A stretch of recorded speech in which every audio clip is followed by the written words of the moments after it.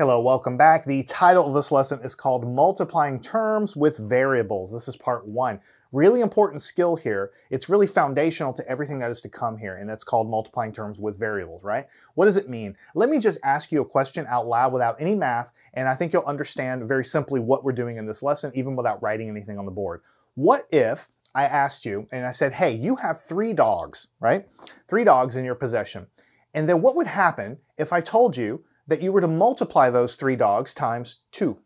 Visually, what would happen? Let's say I had three dogs and they're on leashes, right? I have them right in front of me. One, two, three, three of them, three dogs, 3D, or three dogs, right?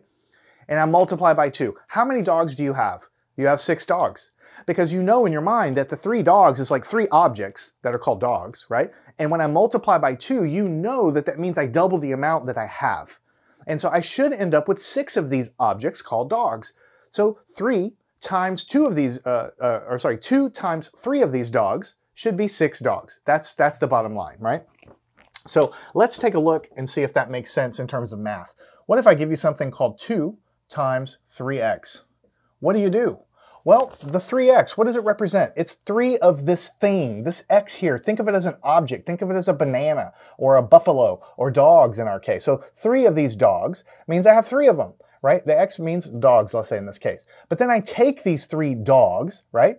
Right? And I multiply by two. So what should I get? I'm going to multiply the numbers. 2 times 3 is 6, but the variable, it still has to come to the answer because I'm multiplying dogs.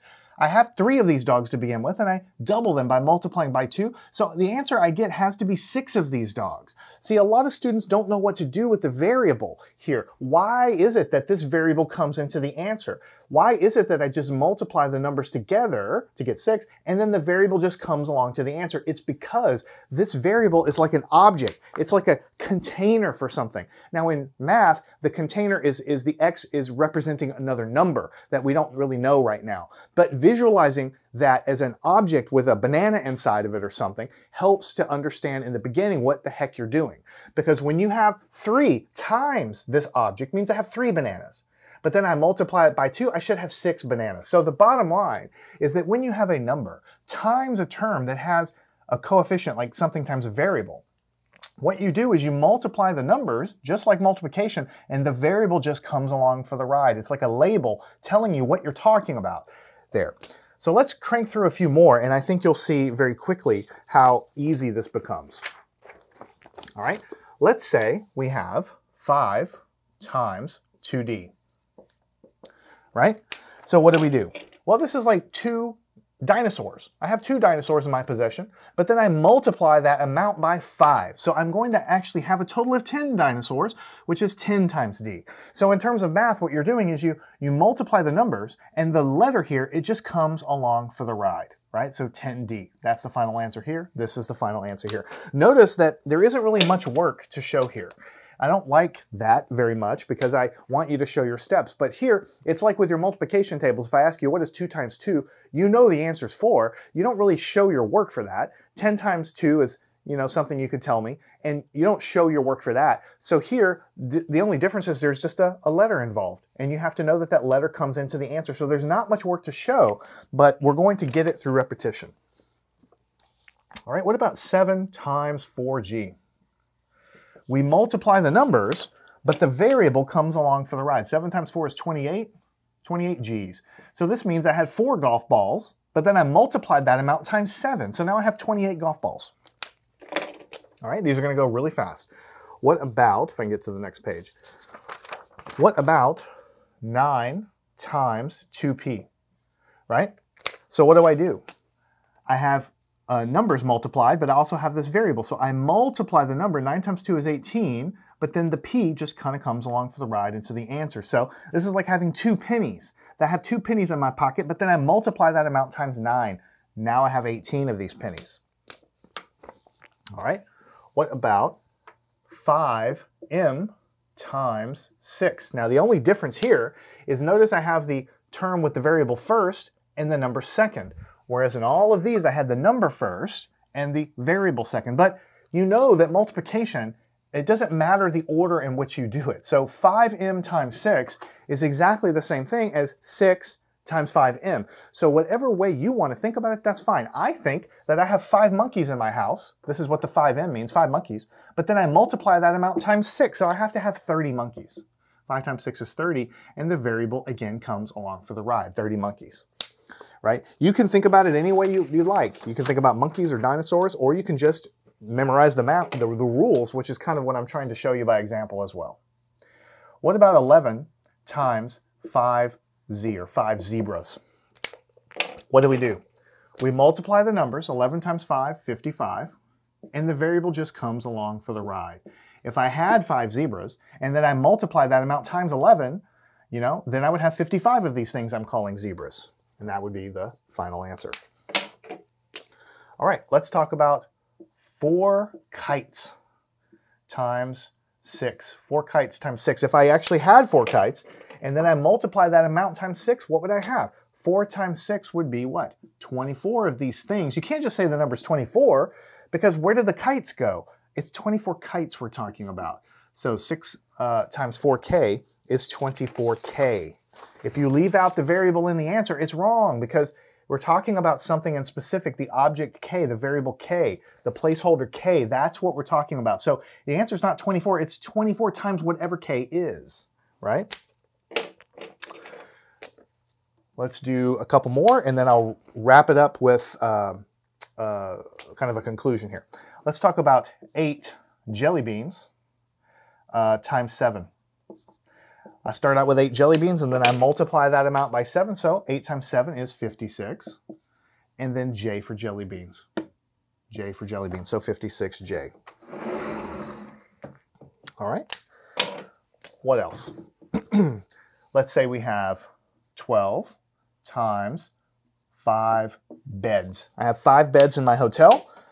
But then I multiply that amount by 12. So what do I do? I multiply the numbers. 12 times 5 is 60. And I still have B for beds. So the answer is 60B. All right, I think we only have one more.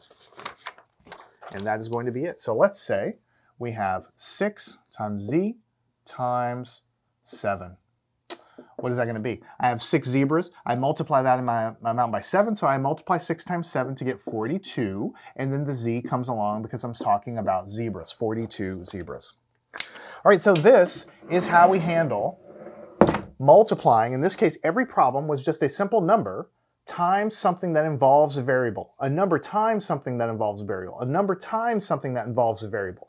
Here we flipped it around where it's something times a variable times a number something times a variable times a number because the order of multiplication doesn't doesn't matter. So multiplying it this way or the reverse way, you get exactly the same thing.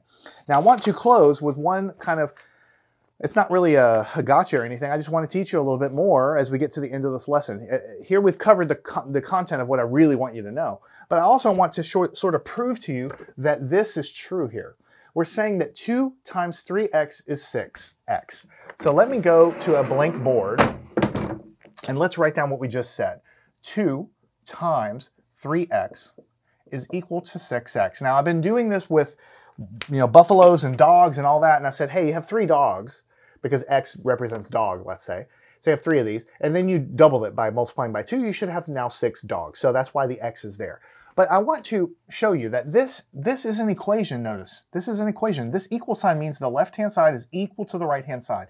And the x here, it really doesn't mean buffaloes or dogs or cats. It dinosaurs or bananas or cucumbers. It doesn't really mean that. It really is a placeholder for a number.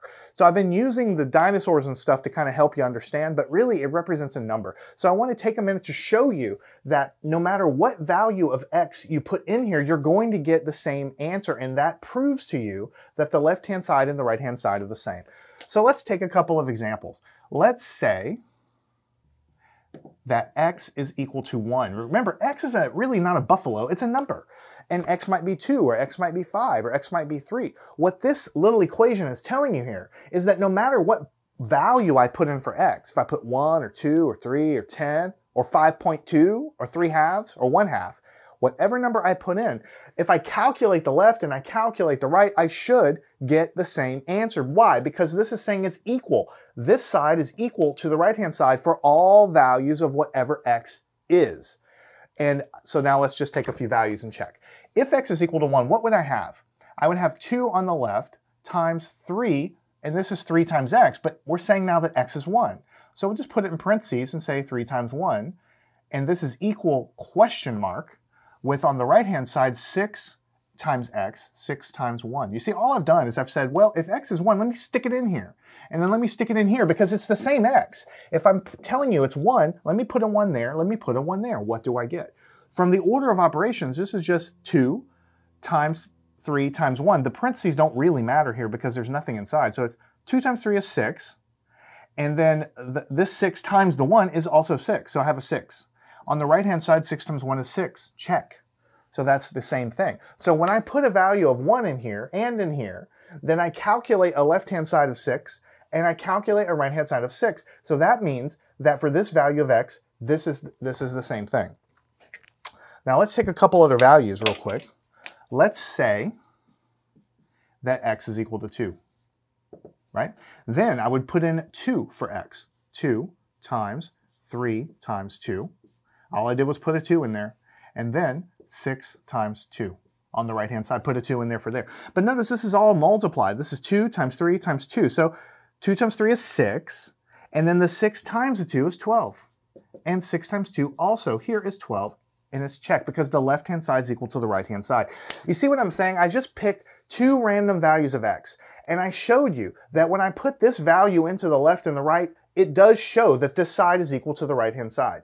And then when I pick a totally different value of x and calculate it, the left-hand side is equal to the right-hand side. We can keep going until the heat death of the universe, but if I keep picking values of x, you're going to see that no matter what value I pick, the left-hand side is going to be equal to the right-hand side. What does that tell us? It tells us that if we can pick random values, if we can pick all the values and prove to ourselves that the left-hand side, once we calculate it, and the right-hand side, once we calculate it, are the same answer, no matter what value of x we put in, what it means is that this left-hand side is actually equal to this right-hand side, no matter the value of x.